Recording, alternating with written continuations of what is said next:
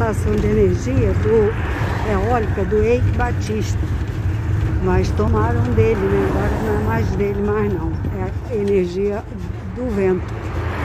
É enorme a, a subestação.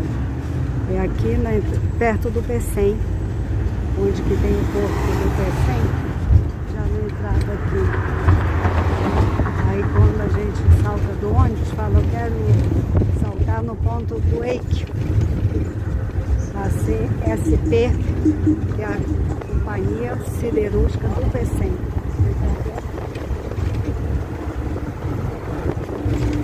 Aí ele perdeu essa concessão aí, Como é grande ali, ó. Eu não sei quantos quilowatts de energia que gera não, mas o Ceará é um dos estados do Brasil que mais tem energia eólica.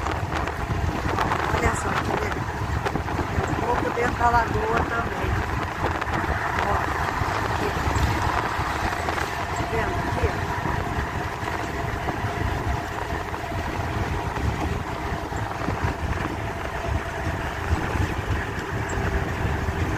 Henrique Batista, que foi marido da Luma de Oliveira, aquela passista da escola de samba famosa. Olha só.